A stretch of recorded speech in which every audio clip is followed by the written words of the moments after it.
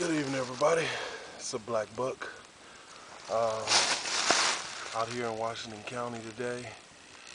Public land hunt, uh, going for gobbler, early November 2008. Didn't get anything in the spring, but uh, as you can see, got us a nice bird uh, for the fall. Good beard.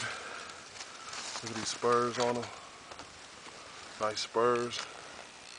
Um, nice looking tail, nice eastern, eastern uh, gobbler here. Um, been scouting this area uh, since last April and uh, came right on in and got right on the birds.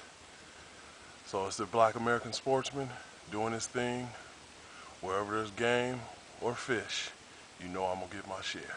Black buck.